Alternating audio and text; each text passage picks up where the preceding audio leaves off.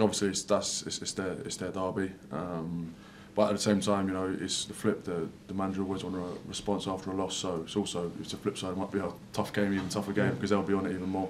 But we just do what we do. Um, I think that's so important for us. Um, is play our game um, and let other teams worry about us.